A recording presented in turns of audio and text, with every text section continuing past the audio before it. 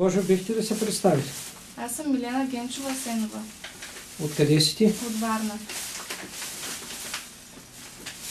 А, преди около месец съм те преглеждал. Да. Какви проблеми имаш? Еми, нервите, сърцето и бъбреците. Тогава как се чувстваш? Ами тогава постоянно ме боли сърцето, усещах, че се едно някоя глава ме боде. Да. Постоянно се ядосвах, плачех, постоянно ходих до туалетна. Сега как е? А сега не се ядосвам толкова често, не плача толкова често, сърцето въобще не ме боли вече. Да. Дал съм билки на баща ти за камъни в излъчката. Да, за три дена ги изхвърли, видях ги, бяха зелени. Добре, много ти благодаря.